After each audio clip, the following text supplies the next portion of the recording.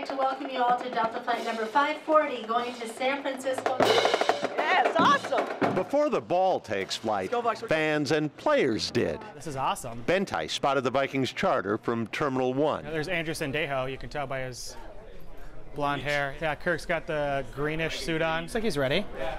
Looks like he's ready to give us another You Like That. We just happened to walk up, yeah. That's Kristen Crawford and Sun Coy About to leave. watching their dreams depart. Not Vikings fans, we're Saints fans. And you know what the Vikes did to them? It's a little painful.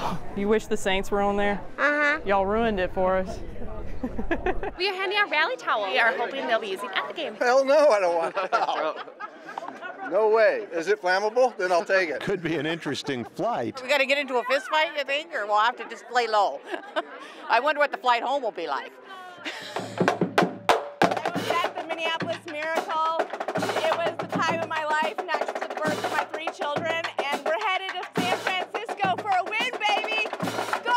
Aspirations taking flight. There you go. Welcome on board here for San Francisco. Boyd Huppert, KARE 11 News, MSP International Airport. Well, fans at home are ready too. We've been getting great photos showing your support for the Vikings, and schools are getting into the spirit with the Skol chant. Here's RTR Elementary School in Ruthton.